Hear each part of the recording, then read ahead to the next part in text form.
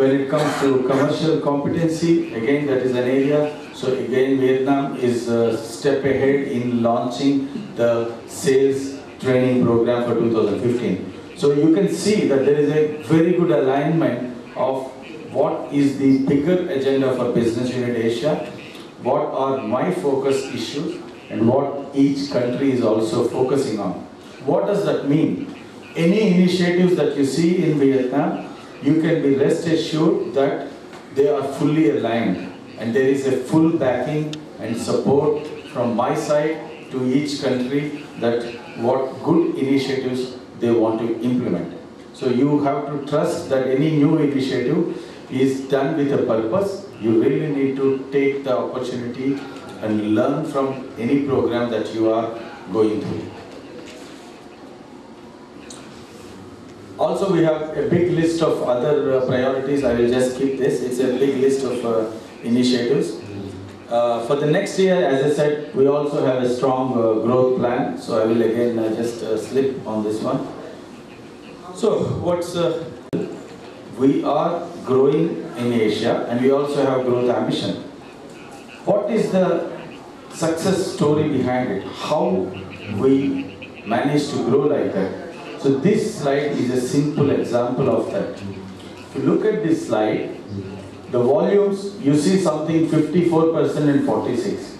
The 54% is what we call as premium offerings, which is Yara Mila and Yara Liva and some other specialty products like Yara Vita and other water soluble products.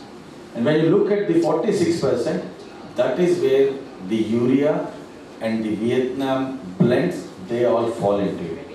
But if you see the volumes, they're almost 50-50. But when you look at the value, the profitability, 88% is coming from the premium offerings. Only 12% is coming from urea and other products. What does that mean? You want to grow more here or here. So I have a question for you. To be more successful, how many of you feel that we should grow in green? Please raise your hands. You didn't understand the question? You can see the profits have been growing from 98 million to 156 and the groggy has been very good. So all in all, the results are very good. This is so far. What is the plan for next three years? this is how we want to grow. So from almost 1.1 million tons of Yara Mila, we want to go to 1.46 million tons. So we just want to grow by another 360,000. It's a huge ambitious plan we have. When it comes to Yara Liva, we are only 100,000 tons. We want to grow to 143,000 tons. So we have a huge growth ambitious plan. Just to give you how each country looks in this, Thomas, I just added this slide because of our morning discussion. So if you look at this, Vietnam, so we want to grow from here to 1.4. By 2020, we want to go to 1.6 million tons of Mila. And we want to go to 180,000 tons of Liva. This is the overall ambition. But if you just look at Vietnam, we want to go from 50 to 85. That's why I said, even if you achieve 80,000 tons in Mila, that's a very good ambitious plan. But today you are around 18, 19,000 tons of Yaramila because of some uh, unforeseen things in 2014. So even achieving an 80,000 tons of Mila and achieving about 24,000 tons of Liva, which will make about 110,000 tons, and then maybe another 30, 40,000 tons of blend, even if Yara Vietnam can achieve 130, 140,000 tons by 2020, it's a great achievement. But from, I can send this to you, no problem. So from a level of 20 to go to 85, you have to grow by four times in Yara Vietnam. That's also a significant ambition.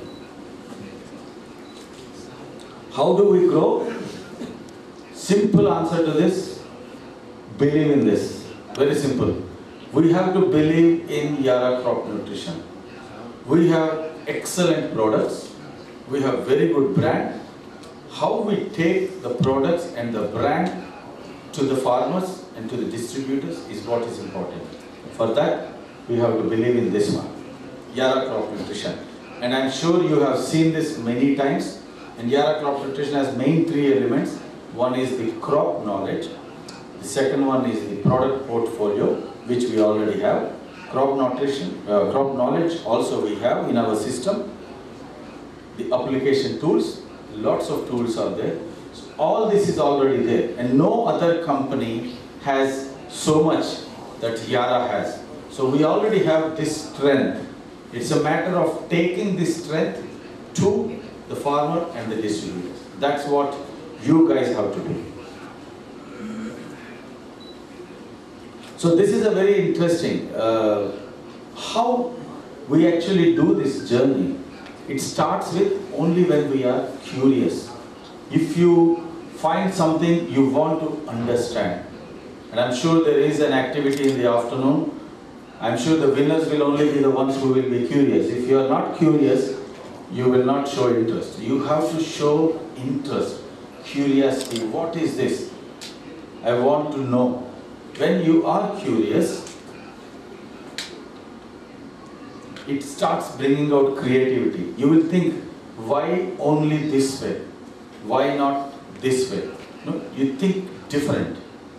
When you think different, you come with very different ideas. You come with something that you want to do differently. So that's where the innovation starts. Okay? If there is no innovation, you wouldn't have had the iPhones. Right? iPhone is an innovation. WhatsApp, Facebook, even emails. So when you think different, you come with new things. And when you come with new things, you differentiate. That is why iPhone is different compared to other phones because people see the real value and the real difference.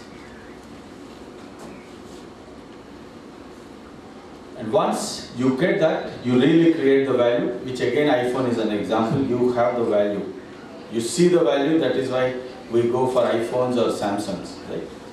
So, and then once you create a value, then again curiosity starts. What else I can do? What more we can do? So it's a cycle.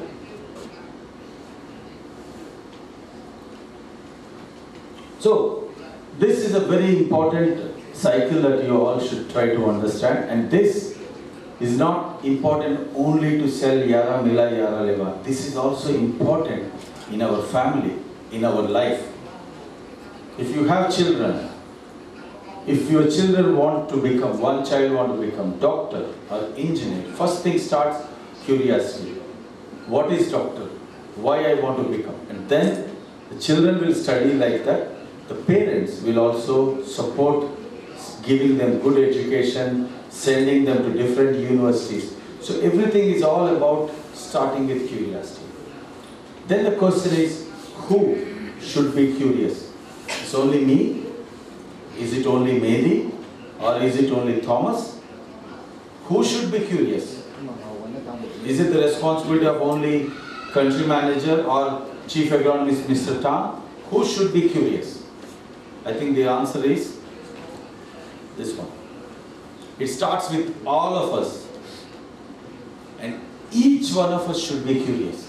It's not only me, not just Mehdi. Every one of us should be very curious. When we are curious, what will happen?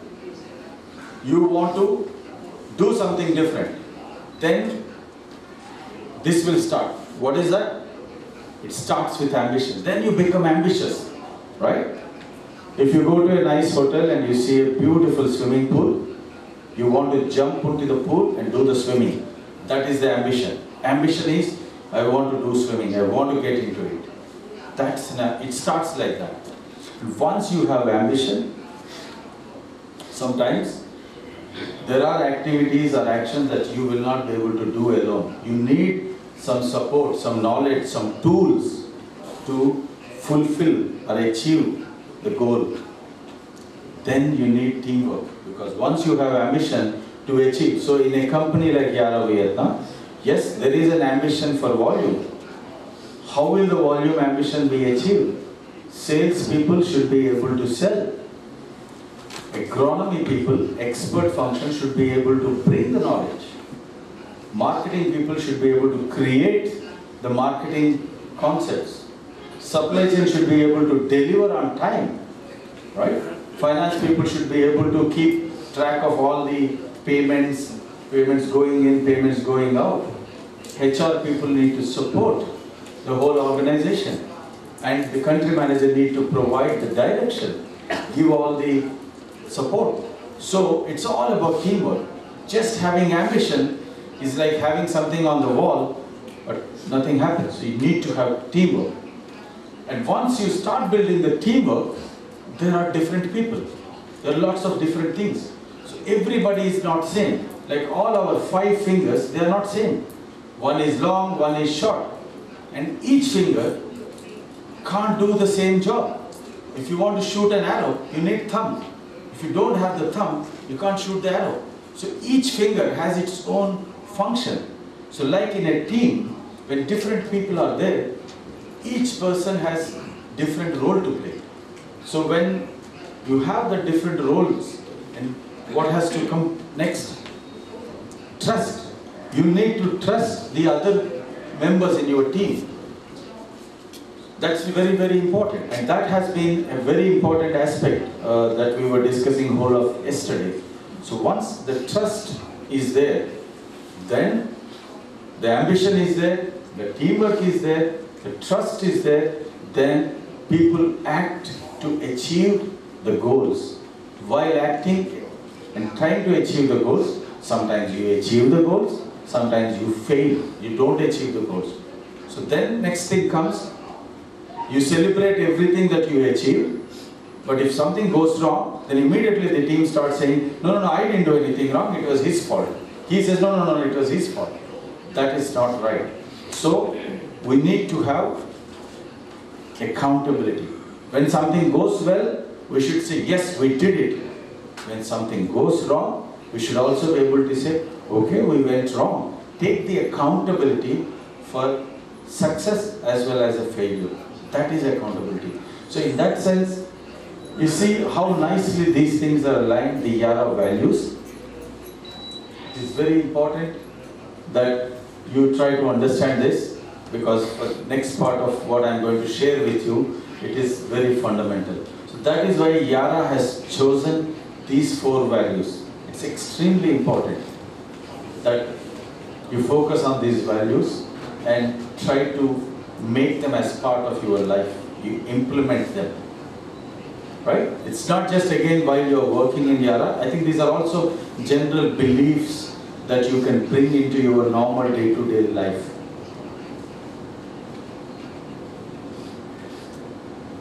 I touched upon these four values. I have explained to you these four values, why they are important for Yara, why they are important for each one of you while working for Yara, as well as every time of your life. So I thought it's important to touch upon these Yara values, also more so because of the unfortunate developments that have happened in 2014. 2014 in the sales functions, we have noticed there were certain things which uh, were not as per Yara's standards or Yara's way of working. So it is all the more important that all of us remind ourselves about these values. So what I'll do now is I will try to take you through small sharing on each of these values. So as you see next slides, each of these four values, they come with a specific story, which is there on the slide in English, and which is also there in Vietnamese, typed there. But I think our translator will read the Vietnamese part of the story, the translated story, try to understand. Once he finishes reading that, then I will come back with my comments. So this first slide is going to be about ambition. So this is the story coming up on ambition.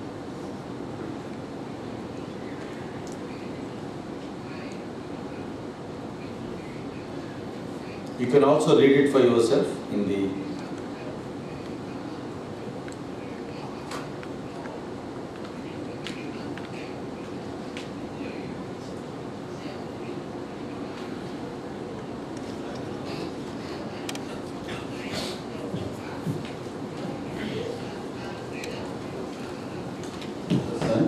I want to do good for this company because I work for this company, then it is all the more important that you should have the right feelings to come forward and make the right, let's say, bring the right, right issues in front. So to me, I think you really need to respect this, and this is part of Yara values. And there is a long list of things on the other side, which I would strongly encourage that you pick this is an area that I really want to improve. That is something I will ask HR to coordinate and work further. So let's move on to the next value. That's about trust. So again, like in the case of ambition, the next slide will show a story, which is again in English and Vietnamese. So the translator will read that part of the Vietnamese version. So please uh, listen to that.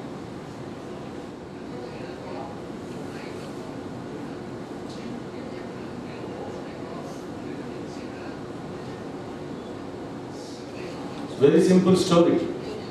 So the little girl was more comfortable in asking her dad to hold the hand rather than the opposite. So it all starts with trust, right? So same way, you have to get this feeling of trust in you, that you trust your line manager, whether it is Thomas or Tuk or Mr. An or uh, Mr. Tan or Mr. Tom from plant, I think or Mr. Mehdi, event is going to be an excellent learning for that.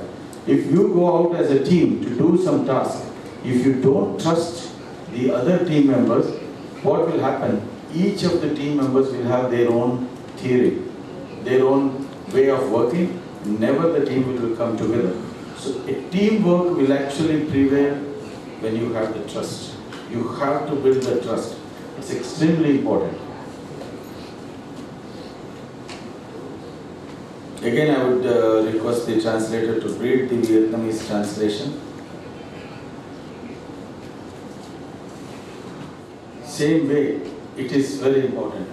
It has to be unconditional. So same in our way of working, whether it's an agronomist or a sales guy or a marketing, we have to be teamwork. As you can see, Mr. Plumb, who survived from such fatal fall, he survived simply because someone in his team has packed his parachute properly. So it's very important. So it's important to recognize that in a teamwork, sometimes someone's contribution is not that visible, but I think it's very important that in a teamwork, there are lots of people contributing. Yeah?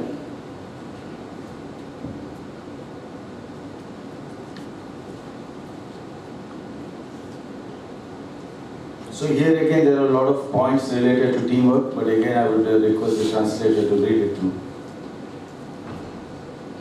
Okay, uh, I think he has read it already. So you have to uh, follow again what you really want to implement. And again I will ask HR to assist you in uh, identifying some specific points that you want to pick and work on so that you can build the teamwork. But I think it is extremely important that you understand the importance of these values and also the teamwork because it's a huge team. I think today's program and the next two days is actually meant to bring you through this spirit of teamwork. So I really hope that you take this into your heart and then work with more positive spirit in the days and the years to come to build that team spirit amongst you guys. The next important value, which is the fourth one, is the accountability. So it's again same, there's a story in Vietnamese version in English, so the translator will read the Vietnamese version for you. No final solution. Whereas the second son goes, he himself comes with all possible options and finally the deal is done. So I think this is also very important of course in Yara. The first son is not taking that accountability, okay, my dad asked me this, I go, ask the question, come back. Second time go and come back. But the second son, he took the accountability, okay, dad asked me something but ultimately this is the result he wants. So he took, takes the accountability of finding all possible options to provide the final solution. So that is accountability. So when we are working for Yara or in your life or anything, when we really feel that ownership, when we have that ambition, we feel that accountability, we try to deliver and we put all best possible efforts to deliver. So that's why it's again an extremely important value. Each one of you really need to take it to heart and build into your way of working for Yara, way of leading your life. So like for other cases, again there is